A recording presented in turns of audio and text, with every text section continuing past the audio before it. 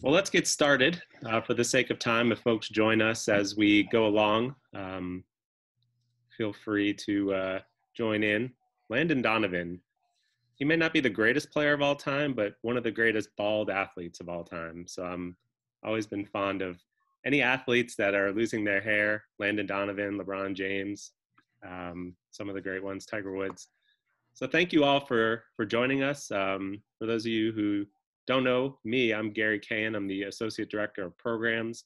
And I know Shane Land, our Assistant Director for Intramural Sports and the Park, and Heather Marshall and the whole intramural team have organized this series um, focused on development, but also focused on officiating and focused on bringing in some folks that can speak to you and speak to what it's like officiating at all different levels. And hopefully, while we're in this period of uh, remote instruction and learning online.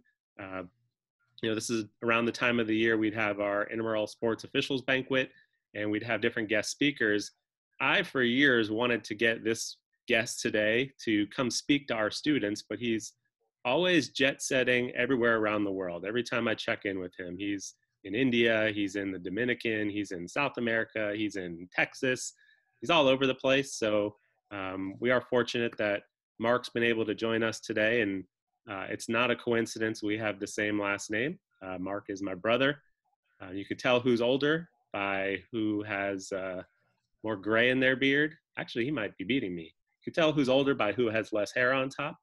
Um, a little bit older, but uh, excited for Mark to join us. Um, Mark had Shane send out his bio, has been a very accomplished soccer official on the field, working in Major League Soccer, working international friendlies. I saw a lot of Leo Messi written in the chat. Uh, one of my highlights was going to a, a game back in 2012 um, down at um, Hard Rock Stadium, whatever it was called then, and seeing Mark on the field refereeing Messi uh, in a game. So he might talk about that a little bit later.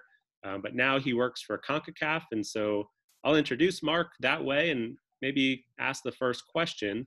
Um, and I should say this: if you have questions, uh, Nikki sent me a bunch in advance. If you have questions you want to ask, throw them in the chat, and then uh, we'll either read them for you or we'll call on you if you feel comfortable asking them later on. We hope to be on with you for an hour, and so we're excited to um, hear from Mark. So, Mark, if you could just start off, tell us about uh, what CONCACAF is for our students who may be unfamiliar with the world of uh, international soccer confederations and what your primary role for them is. Great. First, uh, Gary, thank you, and and thank you to everyone for taking the time today to to join the call. Uh, you know, these are some difficult times, and we're all moving into new and innovative ways to operate on a daily basis. So, uh, I hope everyone, you know, first of all, is safe. Your families are safe, and uh, emotionally and physically, you're all doing well. And and if you're not doing financially well, maybe uh, you can reach out to my brother Gary after the call. Uh, but uh, CONCACAF is the Confederation of North, Central America, and the Caribbean Associations of Football. We're one of the different, um, many different confederations that is under FIFA. So FIFA is my new mom and dad in terms of my work world. And tell us about what you do on a day-to-day basis. You're the manager of referees obviously right now is a an interesting time, but kind of take us back. Um, I mentioned sure. how you travel all over the place. What do you do to contribute and develop to the game of soccer through the officiating program? So, luckily, living in the United States and coming up through the officiating ranks here, I've been very fortunate. And we have about 150,000 referees that are registered in the United States. And, and in the Confederation, we have about 250,000 in total. So, you know, with 41 different countries, you can imagine, you know, where there's only 60 officials in Guyana and what type of support they, they receive. So, you know, now as the manager, um, I, I'm managing development as it relates to the different member associations, providing them with education and, you know, the resources to improve their officials and I'm also working as the project leader for the Video Assistant Referee Project. You know, you've seen VAR being implemented in Major League Soccer and in the World Cup.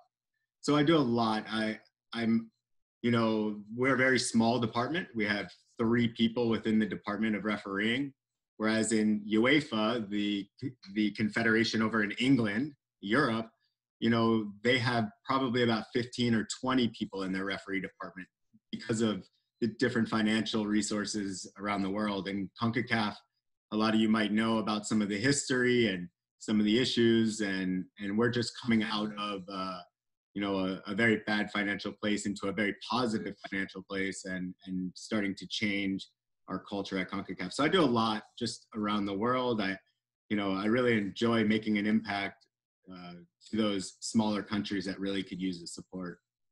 So take us back, Mark, maybe to the beginning. A lot of the students here are either in their first year of officiating ever, or they've officiated for a couple years. They may do some stuff on campus. They may do some stuff in the community, uh, high school sports. Some have even progressed maybe to some college, small college uh, basketball. How how did you get started in soccer um, officiating, and what was that beginning period like for you uh, around your development?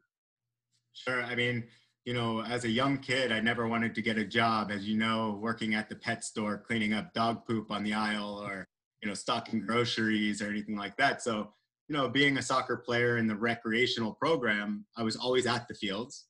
And luckily, I had my older brothers who had friends that were officiating on the recreational level. And to make 15 bucks cash to go stand there for 45 minutes and sort of get, you know, a little bit of exercise, uh, some sun, you know, and be around people. It was just just a better a better thing for me. And you know, it was almost like babysitting for me. My parents could drop me off at the soccer fields, and 14 years old, I could referee little eight year olds and and make some money every night of the week and all day Saturday.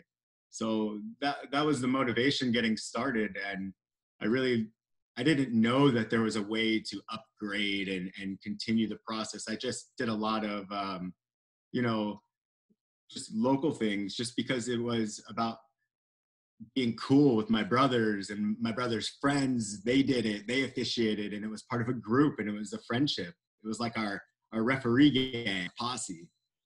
So I always, people ask me, how do I become a college basketball official? I could tell them all the steps they have to take uh, people ask me because I officiated high school football and college football. Here's what you have to do to, to get to that level. If someone had interest beyond officiating intramural sports of progressing, whether it be to high school level, to the international level, Major League Soccer, like the level you got to, what is what are some of the pathways and what's your advice for them to get started? That's a great question because you know, like I said, I, I started in '94 and didn't realize until 10 years later almost that there is a pathway to to do more games at a higher level. And so i feel like there was 10 years of experience being built but almost wasted time in my development to get to the higher levels. And how do how do you do that? How do you you know what does it take to get started? Well my my recommendation is you know the intramural sports is a great start you know you you get to talk with your friends you're, you're out there making friends you know you're you're having good experiences. But if you really like that intramural level and you want to see if you like you know the next step i'd say get get involved in high school soccer. And in orlando you have the high school sports officials association of central florida. And my good friend eddie loyola is the president of that association. And if anybody's interested i'm, I'm happy at, at a you know to provide resources in order to get in touch. But joining high school soccer, I think, was the turning point for me because then I, I found, you know, the camaraderie and the mentors and the people that have been there. You know, I I was fortunate. There was a guy named Reggie Ruddy, may he rest in peace, young referee who passed away, who he was one of the first officials to work in Major League Soccer, who was in my local member, so uh, you know, my local high school association and he kind of guided me and and helped get me to where you know where I got to and you know you basically you know you, you become part of this group you, you you make money and you, you get a taste. You you put your foot in the pool for example and you know you get a sense of do you really want this just from being a high school official? And if you do then i would say join the united states soccer federation become a grassroots referee you know take the process further because now you you feel like you like it. You can make a couple hundred bucks in a in a night refereeing high school soccer. Now, if you like it, you can go down the federation path and see if you want to progress to the professional level. And so for you, I think people would be interested hearing how that experience happened for you. So how did you then make the jump from high school to then either college or uh, working professionally? So one of the things that's really important is, um, you know, just overcoming adversity. I think overcoming adversity is, is so important because you're going to have a lot of people along the way that are going to tell you you're, you know, you're too old, you're too young, you're not fit enough, you're, you're, you're not good enough. And, you know, you have to know and in your heart what you want. And, you know, there's a lot of balancing during this, this career. You know, it took me 10 years to get my bachelor's degree because I devoted everything I could to wanting to be the highest level official I possibly could. And I did that at an expense. And, you know, then I, I realized that, you know, the opportunity is to really, you know, just have humility and, and to go through this process and, and be dedicated to an assigner. You know, never t- say no. Always take the opportunity. Have your bag packed, ready to go. You know, obviously family first uh, your job is important your school is important but it if you really want something you just put your mind to it obviously it's going to happen if you put it into the universe right you, you can make anything happen what um i guess more specifically when did you kind of get that call that you could work higher level games did you go to i know in basketball a lot of these students know you can go to a camp in the summertime there's people identifying you. Uh, you apply to a conference, you get the call, and you get scheduled games. How, how does it work in soccer? Um, and is it different based on region, yeah, so, location, level? Yeah, I, mean, you, you got to start in your state level, then you go through the the President's Cup tournament, then you then you go through the State Cup tournament, and then if you're one of the top performing officials at State Cup, you get sent to the regional youth regional tournament, which I never was sent to and I'm one of the guys that is you know a clear example of overcoming adversity, not getting the same opportunities, and it, it's about bounce back ability. How do you overcome these certain circumstances and and roadblocks when people don't want you or say you're not good enough? If you just keep going and you commit yourself. Every year I went to this this state cup tournament and it didn't happen. But then I just got a phone call one weekend that said, "Hey, we need a male referee to go to the ODP Interregional Tournament in Boca Raton, Florida. You live in Fort Lauderdale. Can you go and support this Women Referee Academy as a male official because the two instructors are male and they needed two male officials to participate? So obviously, I put my hand up. I'm ready to go. I'm always available. And I went, committed to this. And I met two guys, Paul Tamberino and Alfred Kleinaitis from US Soccer at the time and we became best of friends after that that little tournament and they said hey what are you doing next week you want to come to the armed forces national championship you know absolutely and then one thing uh, came from that i was invited to the nike friendlies tournament in sarasota at the time before the us soccer started the development academy showcase which is now no longer they just recently announced but i went to this tournament and i was appointed to the usa brazil game um, i had a situation where the referee on the field didn't manage very well. A mass confrontation ensued, and I ran out onto the field in a triangle of you know, triangulation to monitor the misconduct. And I performed very well. I, I did the things I needed to do. And after that event, um, a week later, I got a phone call that said, You've been invited to Major League Soccer preseason camp. And I was one of 86 officials that was invited to MLS camp at the time. So, you know, it's now it's a different process. Now, um, with collective bargaining agreement and uh, the Major League Soccer officials, you know, being the last professional sports entity in in the United States to unionize as officials, I was part of the first ever official, you know, collective bargaining agreement. Um, with that unionization, you know, it's now changed the development and the entry into officiating at the highest highest ranks. But you know, it's still a similar process. You just have to go through the, you know, the grassroots level at U.S. Soccer, and then eventually you can make it into the professional ranks just by staying committed and, you know, being uh, on top of your craft. I think you once told me one time, and I don't know if I remembered this wrong or maybe you can clear up whether it's true, but didn't you once tell me that at the time you could you would get paid more to officiate a Division One SEC soccer game than a Major League Soccer game?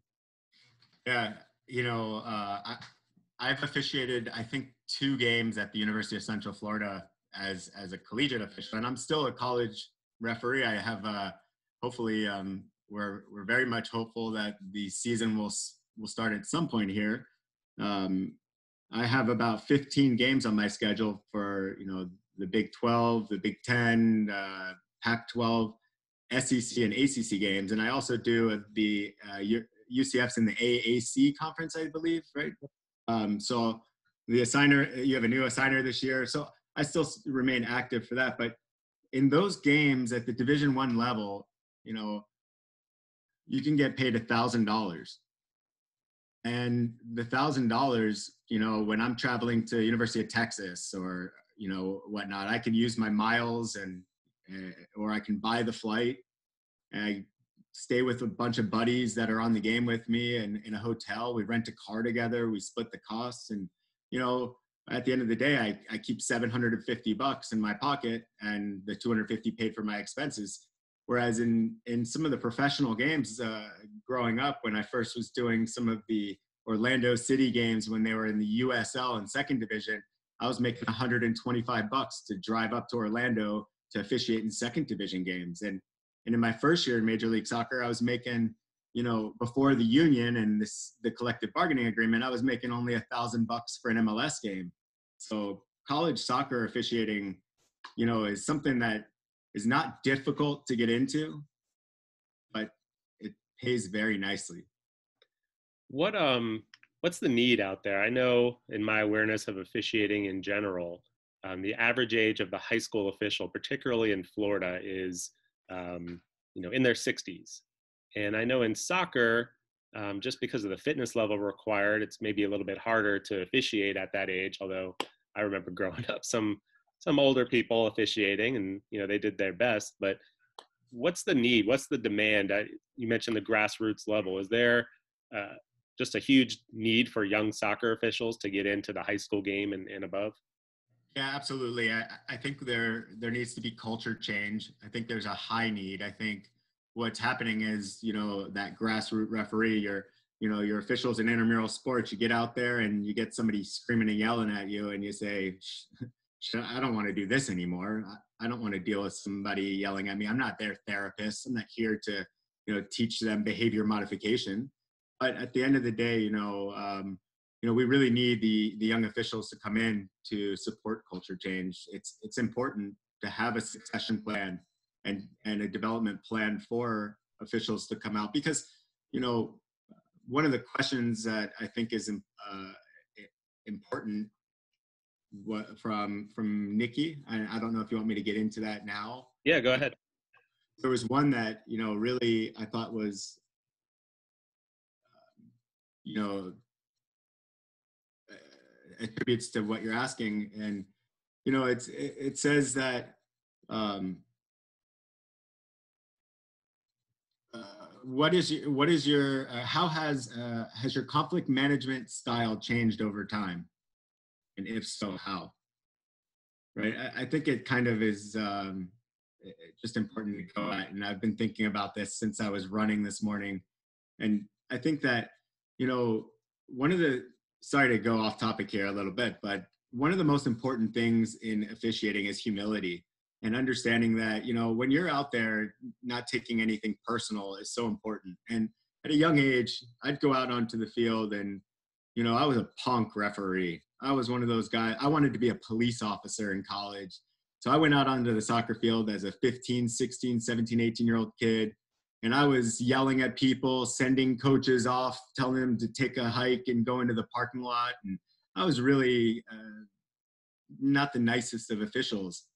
And over time, I learned that, you know, being humble is so important. Having humility and not taking anything personal is so important, and it really has helped with over time my conflict management skills. And and I think there's a couple of things that I can, you know, resources that I can tell everyone to look into that really helped me. Which one of them was a book called Confidence in Conflict by sports officials, um, and it was written by Pete Jaskolski. And confidence in conflict for for sports officials is so important because what we're doing out there is um, trying to diffuse and de-escalate certain situations and, and modify behavior. And there's another book that I read called Verbal Judo, and I'm I'm sure you're familiar.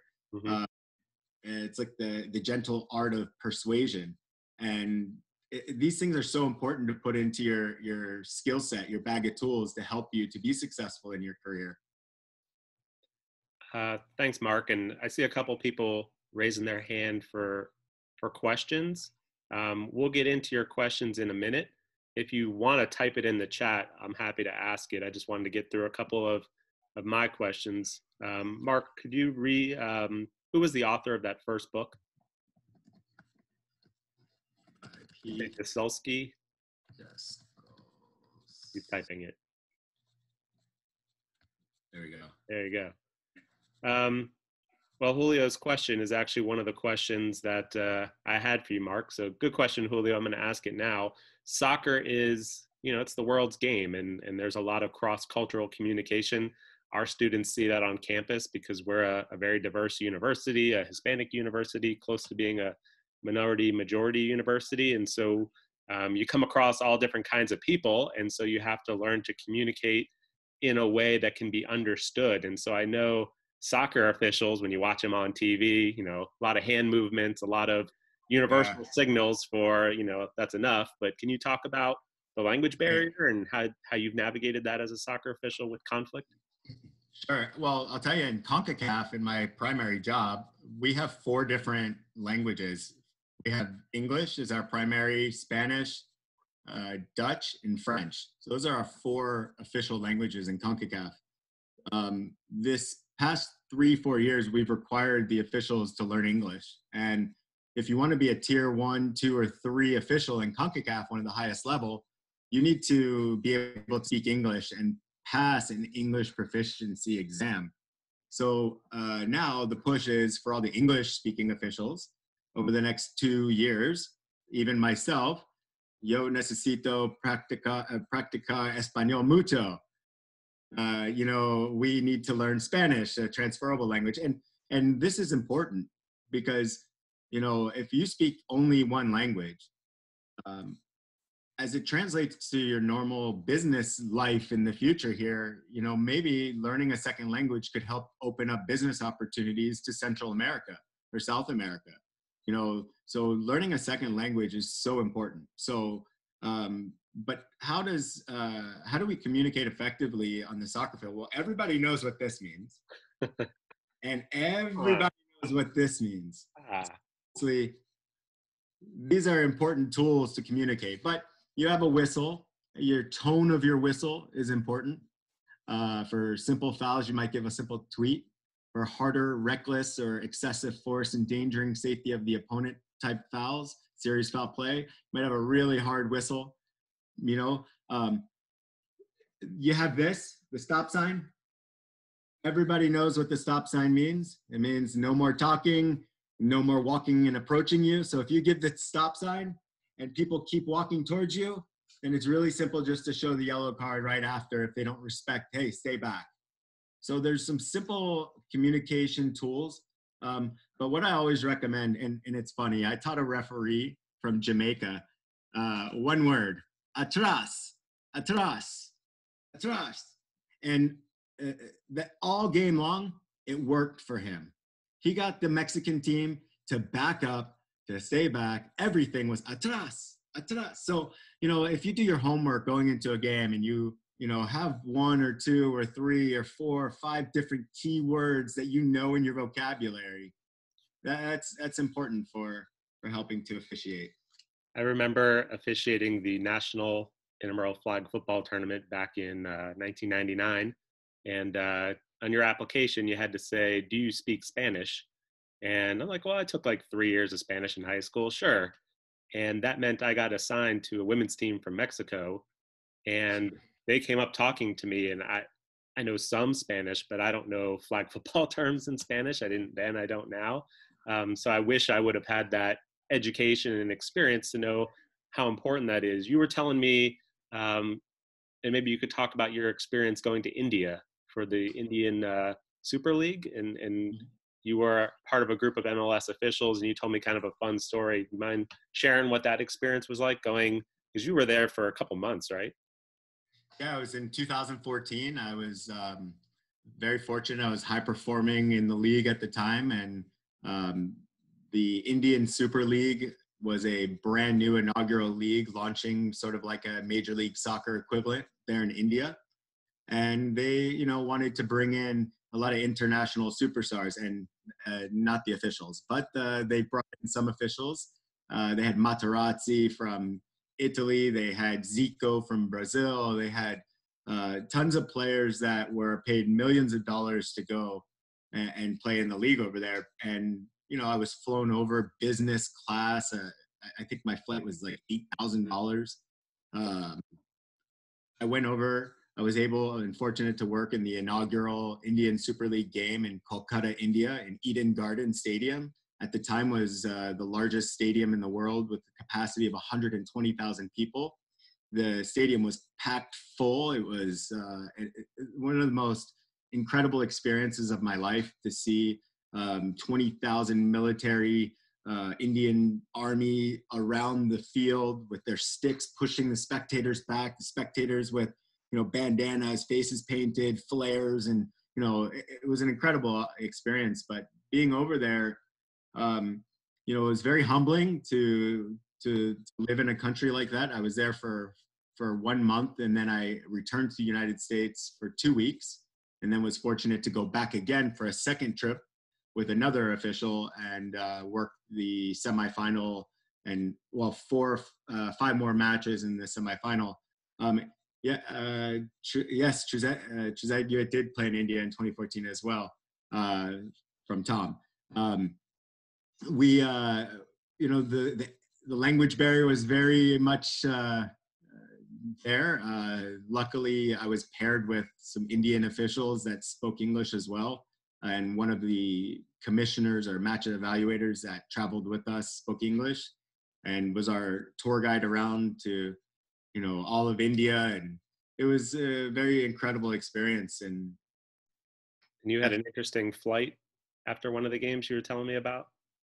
Oh man. I mean there, there's so many different things. Uh, yeah we we had a game in goa and after uh, which is a portuguese colony and after the during the game, we had a situation in front of the other assistant referee where the player headbutt one of the other players.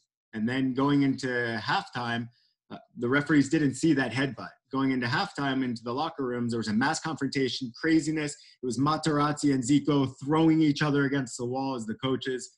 And um, we ended up going into the locker rooms. And, you know, I'm saying, I, I think he headbutt the guy. And the other guys are saying, no, we didn't see it. So, anyways, we go back out onto the field, finish the second half, and we um, the next morning got onto the airplane and noticed that the team who uh, got into the mass confrontation was on the same flight with us, and the two officials were sitting in the same row as one of the the one player who got headbutted, and so it was just you know uh, it was it was a crazy experience, you know, just I mean, I could tell you I almost died in the airplane too because we almost ran out of space on the runway in India and we had to take a last minute uh, ascent back up into the air to do it again. It, you know, it was crazy. It was crazy. It was a great experience. Mark, you mentioned fitness um, being something that um, young officials have to kind of bring to the game, and that's part of the uh, development process. Um, I remember you talking about some of the runs you had to do. I remember before a, a college football season, we had to do uh, a mile and a half run in like 15 minutes, um, which wasn't hard for anyone who's officiating at that level. And that was it. That was our only fitness test. And you kind of looked at me and laughed and said, you know, I have to fly to to Texas this weekend to do a fitness test. Could you talk about why fitness is so important in soccer, and then some of the um, kind of tests that are required of officials at the high levels? Yeah, so you know, soccer's like any other sport in the world in, in terms of fitness. I mean, it's like basketball in a sense, but for longevity, you know, when you think about it, to excel, you really, you know, in soccer have to stand out, and and fitness does that for you. You know, fitness helps to make you stand out. And you know, why is uh, fitness so important? Is because, as you all know, when you're out on the soccer field, if you're not in the right position and you're far away from the incident, people are going to dispute your call. You didn't see it. You're not close. You're so far away. So, you know, presence lends conviction to your call and you need to be there. So fitness is really key to selling a decision, even if you're wrong. When people look up and they see you're right there, they probably believe you that, you know, it wasn't a foul. So fitness is so important in so many ways. But when you think about fitness testing, oh, I'm so happy I'm retired as an active official because the, the demands of, you know, the fitness test you know, Gary, uh, as my older brother, you know, I wasn't the most fit person growing up. I was not always into running every single day and eating right and and having the healthiest of lifestyle. But you know, I'll tell you, uh, the fitness test to to referee in Major League Soccer currently, you have to pass uh, a high intensity interval test. Um, you have to pass a change of direction awareness fitness exam and you have to do sprints. So first you go out to the ta- uh, to the track and you're going to run five sprints and it's uh, like 40 meters and it's, uh, it's different for referee and assistant referee. Uh, it's like six seconds or uh, four and a half se- anyways uh, the, di- the distance is different. But you go out and you you run these five sprints and you have um, you have to do them one right after the next you pass the time. If you fail one time, uh, one of the sprints in the timing, then you have a chance to make it up. If you fail that make-up sprint, then your fitness test is over. But then after the five sprints are done, you have a minute to change your shoes. You go onto the field and you do a change of direction. It's called the CODA exam. And you sprint forward, you sidestep, you sidestep, and you sprint backwards. And you have to do that in 10 seconds or less. Then you have two minutes to change your shoes and get your running shoes on. And then you go out to the track and you have, um, you're going to run now the high intensity interval test, which is 75 meters in 15 seconds. And then you're going to walk 25 meters in 15 seconds. So run, walk, run, walk, run, walk, run, walk around the track, high intensity, heart rate up, heart rate down and you do uh, 12 laps around the track. And, you know, after lap six, you're dying. You want air. You need to breathe. It's, it's really tough. But, you know, if your if your fitness level is up there, um, we have a sports science program in CONCACAF.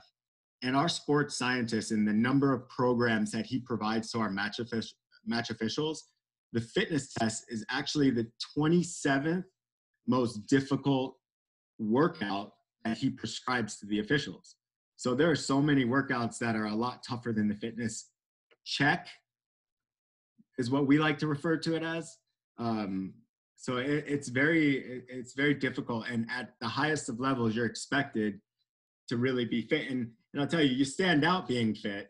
You know, um, everyone here probably knows uh, the NFL referee Ed Hochuli with the big biceps, you know, and I couldn't name another NFL official.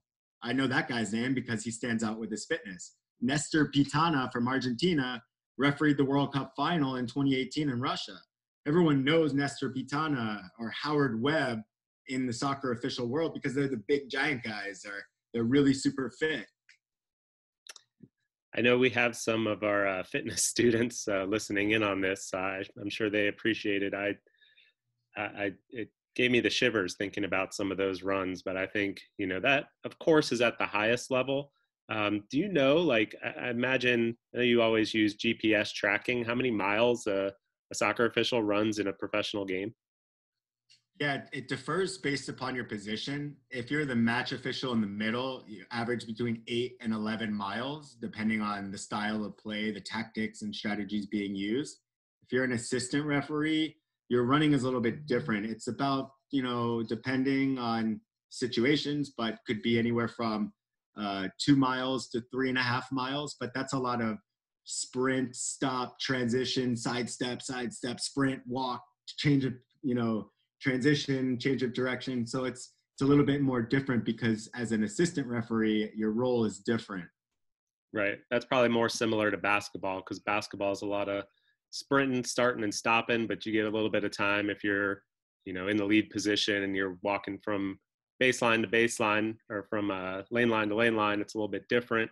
Um, you know, baseball, um, you know, maybe you're not running as much, but if you're a home plate umpire, you're in a crouch position.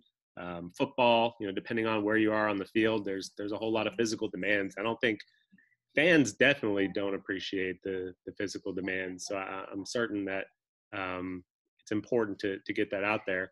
I have one or two other questions, and then we'll we'll open it up to some other questions from the group.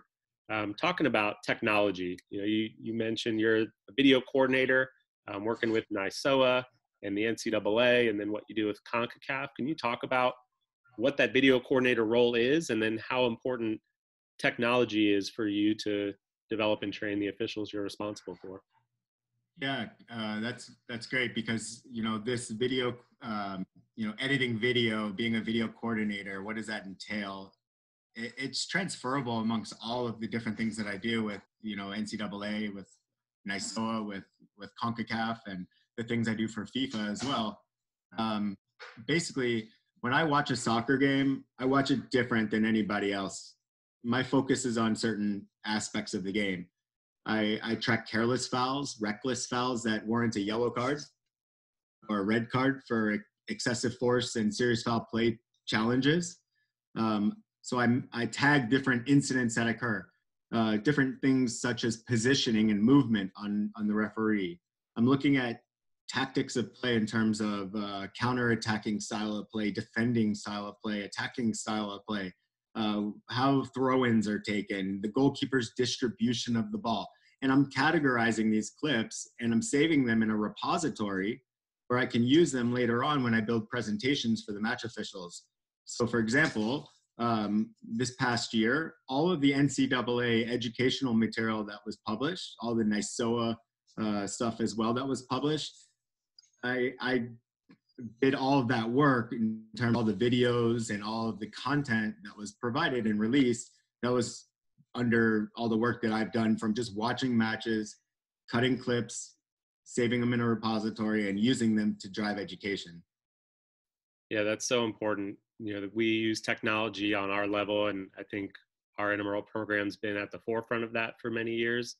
And we know as officials, um, perfection is a goal, but it's it's an unreasonable goal, right? Like even the best officials in the world are maybe at the 92, 94 percent uh, correct call rate. Um, so intramural officials who have one year of experience, where you know you mentioned it takes 10 years sometimes to really develop confidence. If you think about like Malcolm Gladwell's 10,000 hours, it it took me 10 years as a football official to really feel confident that I could pick out any holdout there so intramural officials sometimes, you know, players that are playing the game expect you to be Ed Hochuli or Mark Cahen or Shane Land or Heather Marshall, but it's just not realistic. And so we need those tools, and we also need to communicate, you know, how we develop and train officials so we can educate participants and players as best we can. They're still going to be angry. Um, whatever it is about sports that makes people angry, but the better we can you know put out our training tapes and our highlights and our processes and, and use the best technology available i think we're doing a, a great service to to officiating. Um, i do want to open it up to some questions in this last part we have here. Julio is coming through again. We have about 20 minutes um, with a question. Julio do you want to ask it or do you want me to read it? Yeah so i was just saying i saw that you were also a soccer coach at bard college. Is that correct? Yeah that's correct I was just gonna ask like how um, you basically growing up as like an official kind of influenced your perspective as a coach, like with the referees. Like, did it give you a better rapport with the referees, or maybe were you like more hard on them because you knew all the rules, or like how did that basically like influence you as a coach? Yeah, it's a it's a great question, and um, you know I think that there's so many things behind that question. so the first thing is is that I, I coached my 12 year old daughter at the time uh, in a recreational league. And I said, you know, this is fun. I really enjoyed the, the coaching side of it. I'd never realized the game from this side of the fence. You know, being an official, you know, I did a lot of things to understand the tactics and strategies and style of play of teams. And I did a lot of research on who was committing committing the fouls or who the fouls were committed on or who was always offside and all these different things. But I never really thought about uh, tiki taka style of play, different things from you know different uh, different nations and international styles and such. But um, then I uh, I was injured in officiating in 2016, um, which was sort of what transitioned me to take my family from South Florida and we moved up to Western Massachusetts where my in-laws live and we were helping uh, with uh, her family. Uh, her, her father had surgery, and we were helping uh, with them. Um, so I, I saw there was an ad in the paper at the local college to be the soccer coach. So I applied, and after my interview, landed the job as not only the men's coach but the women's coach and uh, the gender-neutral soccer team coach. Um, it was it's very interesting how progressive Massachusetts is and and some of the things that uh, went on. So at, at Bard College, um, basically the, this is the early college, and essentially I had kids that were it was like the Bad News Bears. It was great, you know. I 14 year old early college students and, and some 21 year old kids and you know they from all over the world a lot of international kids and uh, i sat them down for the first two weeks and we talked about the laws of the game, the the rules of NCAA play.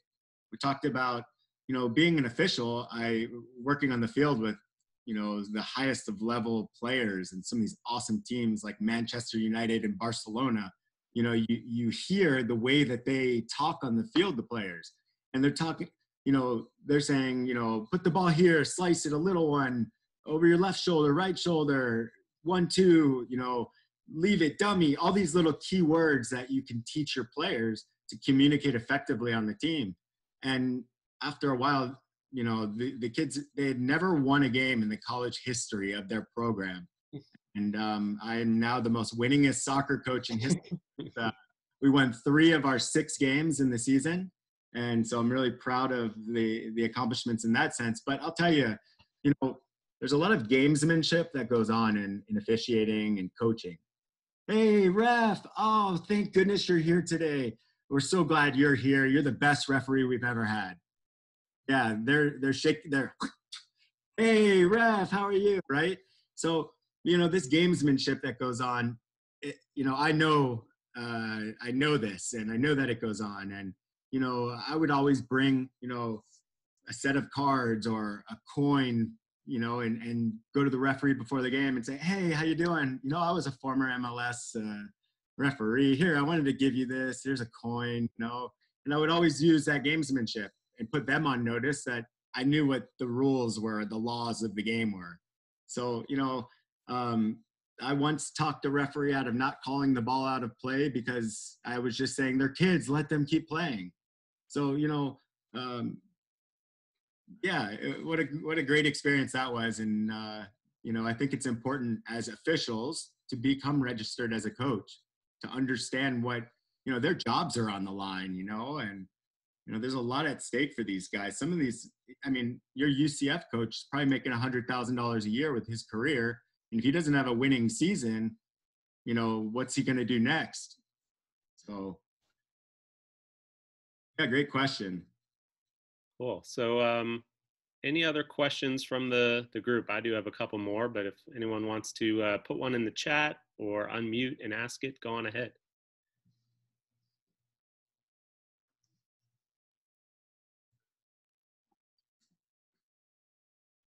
I'm going to ask one of my other questions that was submitted uh, in advance. Mark, aside from on-field officiating, um, you know, the talent that an observer sees, what are some of the qualities that an assigner is looking for in an official?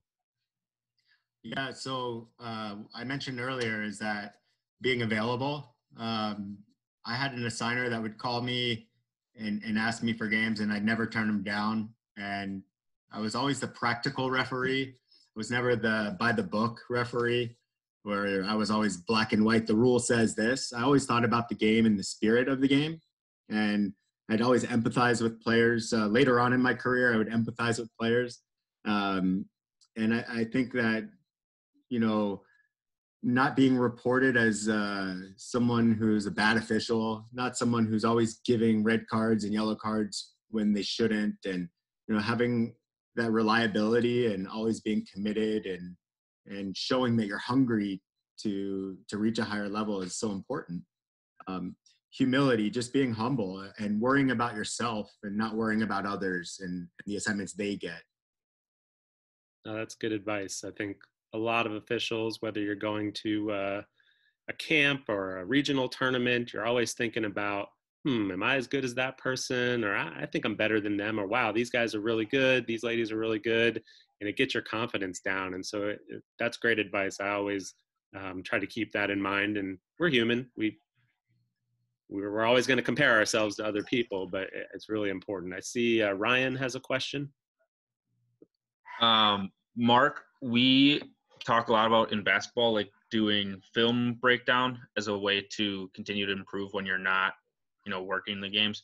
What kind of things do you look for in soccer officials to continually improve outside? Um, and what kind of advice do you have?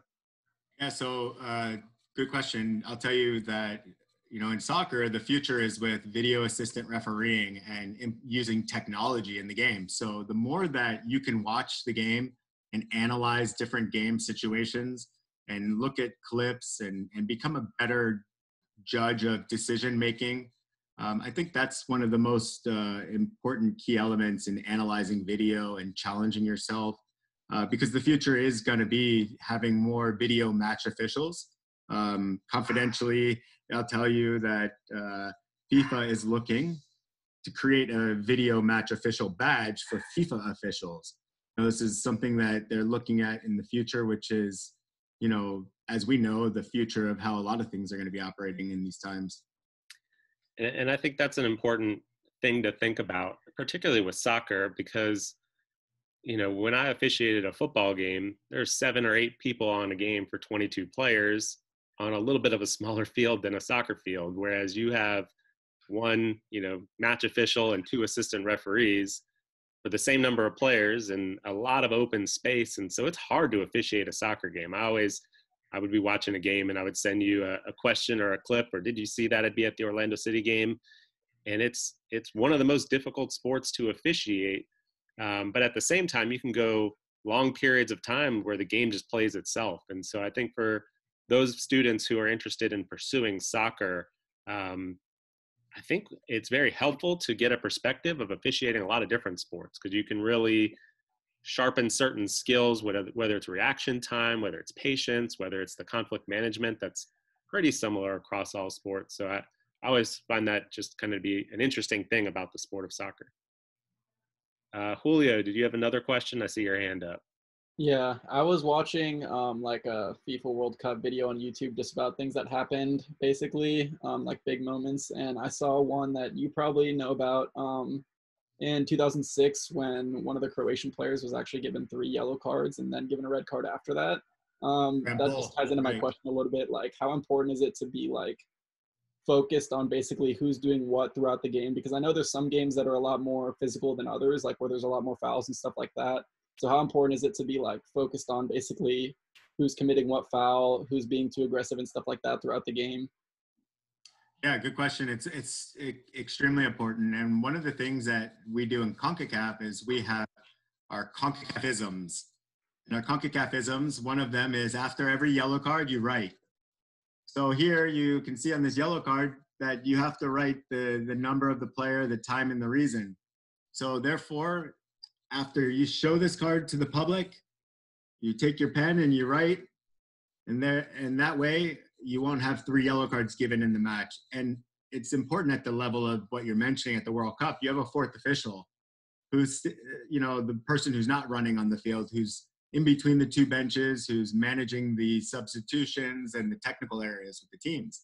So uh, in your pregame prior to the match, you, one of the things that's so important is you know talking about these responsibilities with your with your colleagues and saying to the fourth official, "Hey, uh, do me a favor because persistent infringement. Sometimes um, I'm not thinking. Uh, did number seven commit his fourth or fifth foul?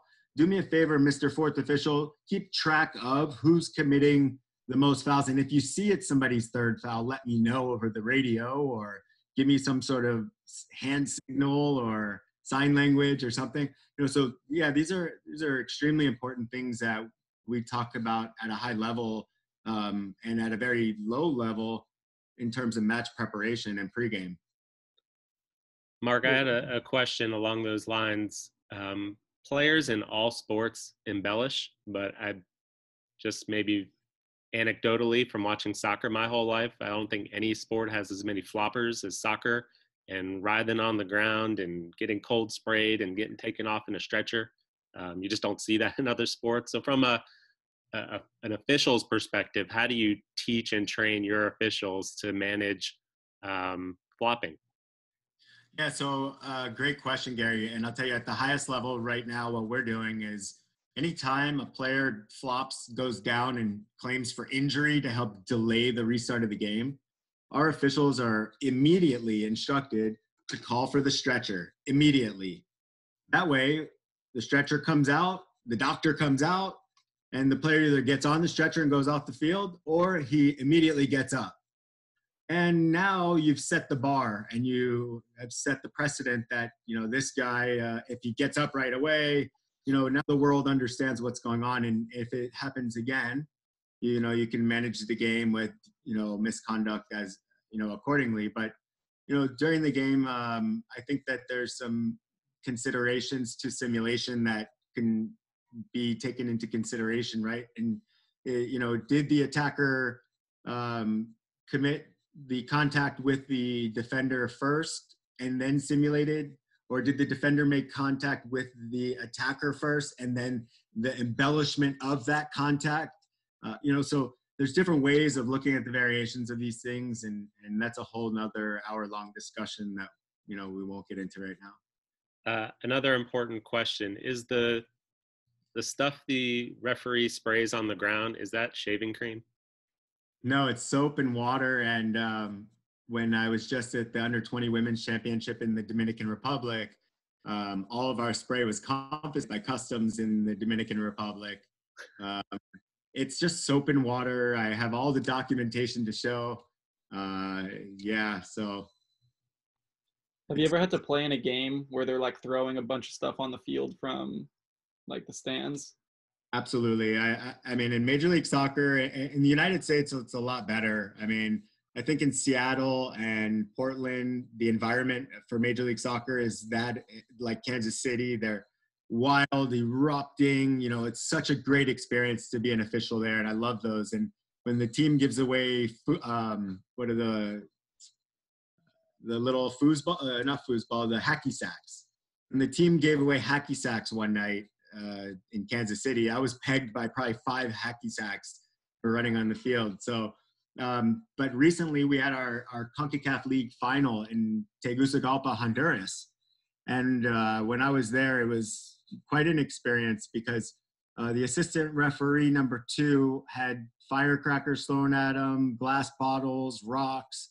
It's really, um, it's just a different environment in Central America when it comes to some of our Champions League games. And um, we're, we're at CONCACAF making a lot of changes to different security protocols because imagine New York City or LA Galaxy going into Honduras and, and you know, or a Mexican team, you can't have those types of situations uh, occur. So yeah, it's, it's, it's crazy sometimes. I mean, I've been chased out of parking lots. I've been, um, you know, shot at, you know, people pulled knives on colleagues. I mean, you know, in South Florida, we have some some wild and crazy amateur leagues, uh, affiliated, non-affiliated, and you know, part of uh, part of being the best match official is getting a lot of experience. And you know, the Caribbean leagues. I mean, there's there's a, a variety of great leagues out there. So yeah.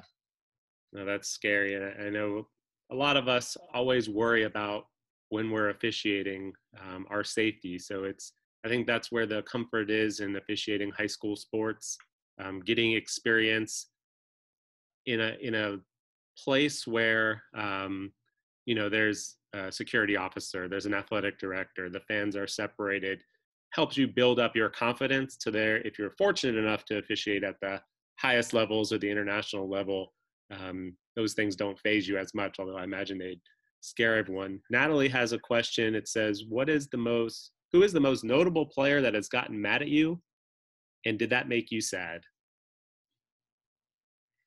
Oh, um, I remember getting yelled at at David Beck uh, by David Beckham my first year in MLS, which is his last year in the league, um, just over a stupid throw-in decision.